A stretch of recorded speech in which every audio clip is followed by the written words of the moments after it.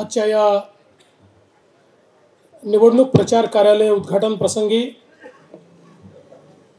मंचावर उपस्थित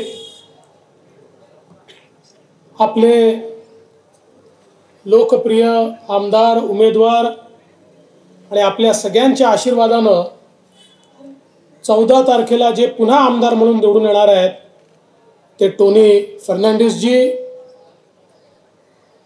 आमचे अध्यक्ष प्रमोद कामतजी गिरीश उसकईकरजी हेमंत कोलतकरजी शेखर इनामदारजी रघुनाथजी वामन प्रभूजी श्री नाईक तुलसीदासजी या ठिकाणी मंचावर उपस्थित सर्व आमचे सरपंच आणि उपस्थित सर्व भगिनी आणि बंधूंनो हे इंदिरानगरच्या लोकांना सांगत होते की माझ्यावर विश्वास ठेवा तुमचं काम केलं नाही तर मी तुम्हाला तोंड दाखवणार नाही. एवढं सांगण्याची आवश्यकता नाही आहे. केवळ एवढंच सांगितलं पाहिजे की इंदिनगर इंदिरानगरचं काम मी जर केलं नाही तर माझी मिसेस मला घरी घेणार नाही कारण त्यांचं नाव इंदिरा आहे. त्यामुळे पहिले इंदिराचं काम करावं लागेल तर घरी जेवायला मिळेल. आज खरं म्हणजे मला अतिशय आनंद आहे. शेवटी निवडणुका म्हटल्यानंतर पक्षामध्ये अनेक लोक तिकीट मागतात. अनेक डिझर्विंग लोक देखील असतात. शेवटी आपण ज्यावेळेस निर्णय करतो त्यावेळेस कोण कमी कोण अधिक? असा देखील प्रश्न पडतो. अनेक वेळा अनेक लोक अतिशय तुल्यबळ असतात. पण आपल्याला तिकीट एकाच व्यक्तीला देता येतं. आणि मग अनेक वेळा राजी नाराजी होते. आम्ही काम करणार नाही अशी भावना काही लोक व्यक्त करतात. पण मला भारतीय जनता पक्षाच्या आमच्या सगळ्या पदाधिकाऱ्यांचं मनापासून अभिनंदन करायचं आहे की टोनीची तिकीट या ठिकाणी डिक्लेअर केल्यानंतर सगळे लोक या मंचावर उपस्थित आहेत. आणि एक दिलाने सगळ्यांनी मनापासनं मग गिरीश उसकईकर असो हेमंत गोलतकर असो आमचे कामतजी असो सगळ्यांनी एक दिलानं ठरवलं की काय वाटेल ते झालं तरी यावेळी सांताक्रूज कॉन्स्टिट्युएन्सीमध्ये कमळ फुलवायचं आणि टोनीला निवडून आणायचं. आणि खरं सांगायचं तर ज्यावेळी मी वेगवेगळ्या उमेदवारांच्या संदर्भात चर्चा करत होतो आणि सुरुवातीला ही सगळी जबाबदारी मिळाल्यानंतर मी सगळे बी जे पीचे जे सत्तावीस आमदार आहेत या सगळ्यांची माहिती घेत होतो. त्यांचा परफॉर्मन्स कसा आहे त्यांनी काय केलं आहे आणि मग ही माहिती घेताना काही पत्रकारांना मी बोलवलं. आणि त्या पत्रकारांच्या माध्यमातून मी ही माहिती घेत होतो की सांगा यांच्याबद्दल सांगा त्यांच्याबद्दल सांगा यांनी काय चांगलं केलं हे करू शकले ते करू शकले. त्यावेळी जेव्हा टोनी फर्नांडिस यांचं नाव आलं त्यावेळी सगळ्या पत्रकारांनी सांगितलं बाकी काही असो पण जे काम टोनी फर्नांडिस यांनी कोविडच्या काळात केलेलं आहे ते काम गोव्यामध्ये इतर कोणीही केलं नाही. जे चार पाच आमदार असे आहेत की आपला जीव धोक्यात घालून या ठिकाणी सामान्य माणसाला कोविडमध्ये वाचवण्याचा प्रयत्न मदत करण्याचा प्रयत्न करत होते. त्यांच्यामध्ये टोनीचं नाव आहे हे मला पत्रकारांनी सांगितलं. आणि खरंच आहे भारतीय जनता पक्षाने कोविडच्या काळामध्ये आमचे नेते माननीय मोदीजी यांनी सांगितल्यानंतर भाजपचा एक एक पदाधिकारी आपल्या जीवाची पर्वा न करता या कोविडच्या काळामध्ये रस्त्यात होता आणि लोकांना मदत करण्याचा प्रयत्न हा सातत्याने आम्ही करत होतो. हजारो लोकांपर्यंत औषधं पोचवणे त्यांना बेड मिळवून देणे त्यांना रेशन मिळवून देणे त्यांच्यापर्यंत किट पोचवणे हे बी जे पीच्या कार्यकर्त्यांनी केलं आणि त्यासोबत आमच्या लोकप्रतिनिधींनी देखील केलं. आणि टोनी यांनी तर अक्षरशः त्या आय सी यूपर्यंत जाऊन ज्या प्रकारे लोकांना धीर दिला आणि ज्यांची बॉडी कोणी उचलायला तयार नव्हतं ती बॉडी स्वतः उचलून त्या ठिकाणी पोचवण्याचं जे काम केलं लोकप्रतिनिधी म्हणून खरोखर मी त्यांचं मनापासनं या ठिकाणी अभिनंदन करतो. आज खरं तर निवडणूक आहेत. आणि या निवडणुकीच्या निमित्ताने भारतीय जनता पार्टी गोव्यामध्ये निवडणुकीत मतं मागते. ते केलेल्या विकासाच्या आधारावर. दोन हजार सात ते दोन हजार बारा या गोव्यामध्ये आपण काँग्रेसचं सरकार बघितलं. सरकार येण्याच्या आधी काँग्रेसचे नेते वेगवेगळ्या प्रकारची आश्वासनं देतात पण सरकार आल्यानंतर स्वतःचाच विचार करतात.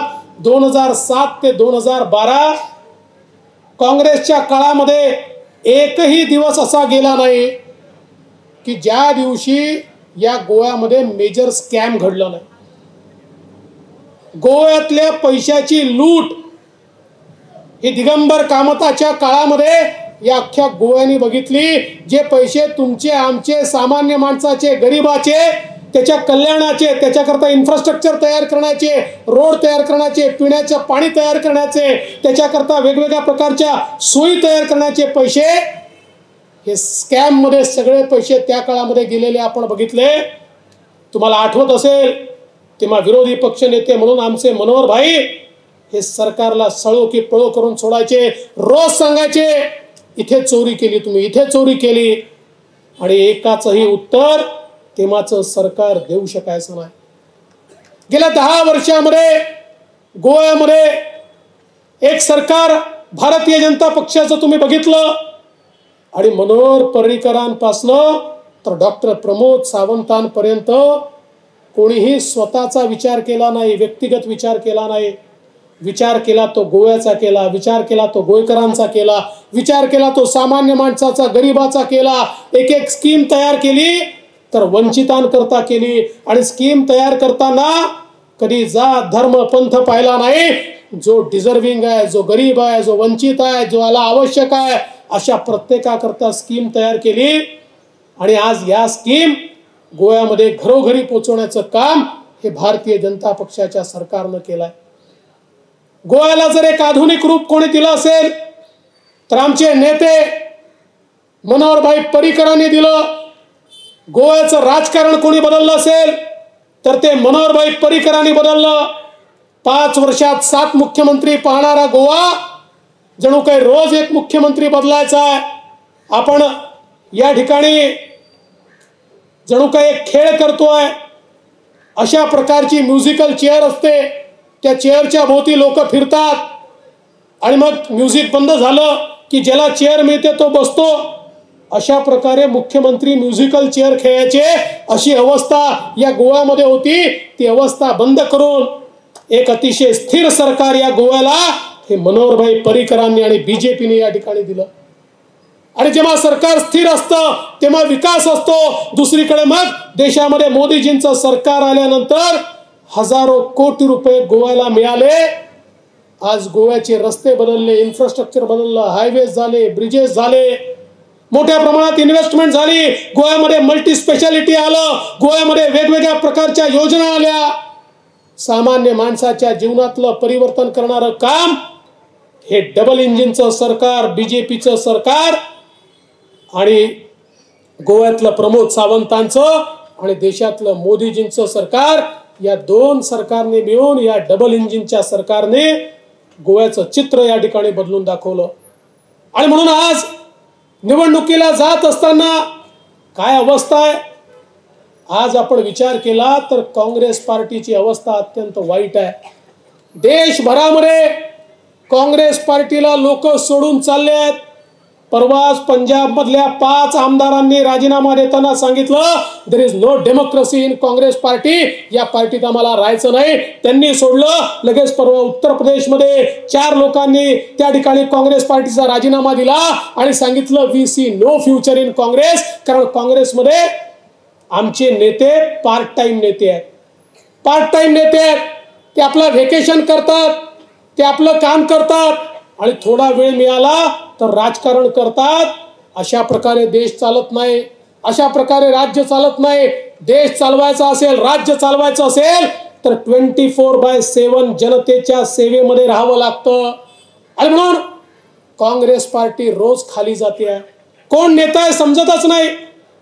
Who is the leader nobody knows आणि आज या गोव्यामध्ये खरं म्हणजे काँग्रेस पार्टीची अवस्था अत्यंत वाईट आहे. त्यांनाही माहिती आहे आपलं सरकार येणार नाही आहे आज या ठिकाणी आपण विचार केला तर टोनी जेव्हा निवडून येतील त्यावेळी ते रुलिंग पार्टीचे मेंबर असतील. अन्य कोणीही या ठिकाणी निवडून आला आणि येणारच नाही पण जर चुकून आला तर तो अपोजिशन पार्टीचा मेंबर असेल. अपोजिशन पार्टीचा मेंबर नाईन्टी सिक्स करोडचं काम आपल्या मतदारसंघात करू शकत नाही. कोणी हे काम करू शकले? कारण त्यांच्या लक्षात आलं की बीजेपी सोबत जर मी गेलो तर माझ्या लोकांना मी न्याय देऊ शकेन. म्हणून ते बीजेपी सोबत आले आणि नाईन्टी सिक्स करोडचं काम या मतदारसंघामध्ये टोनी यांनी करून दाखवलं.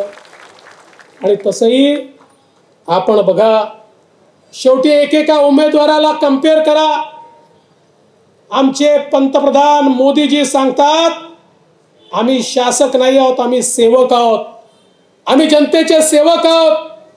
आज या ठिकाणी वेगवेगळे जे उमेदवार आहेत त्या उमेदवारामध्ये कोणीतरी सेवक वाटतो का? एकच व्यक्ती सेवक वाटतो तो म्हणजे टोनी कारण ज्यांच्या घरी कधी कोणी जाऊ शकतं ज्यांना कधी कोणी काही मागू शकतं. आणि तुम्हाला एखाद वेळेस राग आला तर तुम्ही टोनीला रागवू शकता. ते वाईट मानून घेत नाही. Is a very soft hearted person आपला एखाद वेळेस घरच्या माणसावर जसं आपण चिडतो तसं आपण त्यांना सांगू शकतो की तुम्ही चुकलात. आता माझा सवाल आहे समोरचे काँग्रेसचे जे काही उमेदवार आहेत किंवा इतर उमेदवार आहेत त्यांना तुम्ही असं म्हणू शकता का? त्यांच्यासमोर तुम्ही गाराणं मांडू शकता का? कारण ते सेवक नाही आहेत ते शासक आहेत. तुम्ही टोनीकडे मान उंच करून बोलाल पण इतरांकडे जाऊन मान खाली घालून तुम्हाला मागणी करावी लागेल. हा खरा या ठिकाणी फरक आहे. आणि म्हणून आज खरं तर नवीन नवीन पार्ट्या या ठिकाणी येऊन राहिल्या एक आप नावाची पार्टी आली. त्यांनी मुख्यमंत्र्याचा कॅन्डिडेट घोषित करून टाकला. आता मलाही लक्षात आलं की टोनीला मी दोन वर्षांनी अमेरिकेत पाठवणार आहे आणि अमेरिकेतला प्रेसिडेंटचा उमेदवार म्हणून टोनीला घोषित करणार आहे.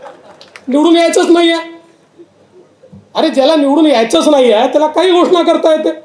So Tony be prepared I am sending you to America and you will be my president's candidate of America हे काय चाललं आहे कोणी काही घोषणा करते आहे अरे बाबा या पार्ट्यांनी पहिले हे सांगावं की या ठिकाणी ज्या घोषणा ते करतायत त्यांच्या राज्यात त्यांनी केलं आहे का?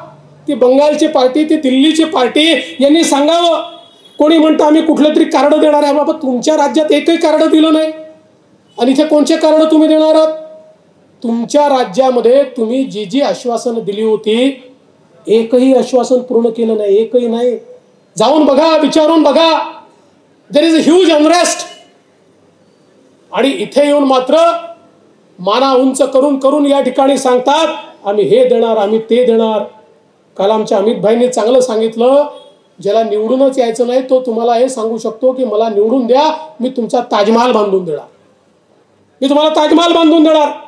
याचं कारण माहिती आहे निवडून येणारच नाही आहे काही आश्वासन दिलं तरी चालतं. पण भारतीय जनता पार्टी खोटं आश्वासन याकरता देत नाही की आम्हाला माहिती आहे लोक आम्हाला निवडून देणार आहे. आणि निवडून आल्यानंतर जे प्रॉमिसेस आम्ही केले आहेत ते प्रॉमिस आम्हाला पूर्ण करायचे आहेत. आम्ही जनतेला उत्तरदायी आहोत. We cannot fool the people आम्ही लोकांना मूर्ख बनवू शकत नाही. ये पब्लिक है ये सब जानती है या जनतेला आम्ही उत्तरदायी आहोत. त्यामुळे जे सांगू ते करून दाखव. आणि जे करू शकतो तेच आम्ही सांगू. अशा प्रकारे भारतीय जनता पार्टीने या ठिकाणी आपली परिपाठी ठेवली आहे. आणि म्हणून तुम्हाला एवढीच विनंती करण्याकरता आलोय. आज खरं म्हणजे या निवडणुकीमध्ये लोकांसमोर जर कुठला पर्याय असेल तर तो भारतीय जनता पार्टी आहे कारण लिडरशिप मजबूत आहे देशातली लिडरशिप मजबूत आहे. तुम्ही विचार करा कोविडच्या काळामध्ये माननीय मोदीजींनी पुढाकार घेऊन जर वॅक्सिन तयार केलं नसतं आम्ही जर वॅक्सिन असं म्हटलं असतं की इम्पोर्ट करू काय अवस्था झाली असती? तुमच्यापैकी कोणी इथे बसलेलं दिसलं नसतं. कारण अमेरिकेने फ्रान्सने इंग्लंडने हे सांगितलं असतं की आमचं वॅक्सिनेशन पूर्ण झालं की आम्ही तुम्हाला वॅक्सिन देतो. आजपर्यंत आम्हाला वॅक्सिन मिळालं नसतं. आज थर्ड वेव आली आहे पण ही थर्ड वेव का माइल्ड आहे? कारण आपल्यापैकी मॅक्सिमम सगळ्या लोकांनी वॅक्सिन घेतलं आहे म्हणून थर्ड वेव आपल्याला अफेक्ट करत नाही आहे मोदीजींनी पुढाकार घेऊन या देशामध्ये वॅक्सिन तयार केल्या. आणि ज्यावेळी हे वॅक्सिन तयार झालं आणि रोल आउट झालं. राहुल गांधी म्हणाले हे वॅक्सिन मी घेणार नाही कारण हे मोदी वॅक्सिन आहे. एक अजून नेते म्हणाले हे बीजेपी वॅक्सिन आहे आम्ही घेणार नाही. नंतर या सगळ्यांनी लाईनीत उभं राहून वॅक्सिन घेतलं. पण जे लोक सांगत होते की या देशात वॅक्सिन तयार होऊ शकत नाही या देशाने मोदीजींच्या नेतृत्वात वॅक्सिन तयार केलं आणि एकशे पन्नास कोटी वॅक्सिन एकही पैसा न घेता प्रत्येकाला त्या ठिकाणी देण्याचं काम बीजेपीच्या माध्यमातनं मोदीजींच्या माध्यमातनं झालं. आणि म्हणून आज तुम्ही आणि मी या ठिकाणी जिवंत राहू शकलो आम्ही इथे बसू शकलो. हे खरं नेतृत्व आहे. आणि म्हणून येत्या काळामध्ये आपल्याला या गोव्यामध्ये मोठ्या प्रमाणात काम करायचं आहे. कामाची सुरुवात वेगानं चाललेली आहे. आणि आता पुढले पाच वर्ष हे समृद्धीचे पाच वर्ष आपल्याला करायचे आहेत.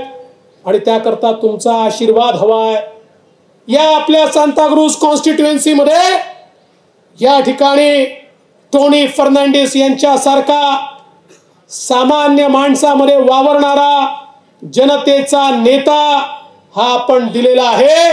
आपण सगळ्यांनी आशीर्वाद द्यावा. आणि केवळ तुम्हीच नाही तर तुमच्या माध्यमातनं इतरांचाही आशीर्वाद हा टोनी करता तुम्ही मिळवावा. एवढीच विनंती तुम्हाला करतो आणि माझं बोलणं संपवतो. जय हिंद. देव बरे करो.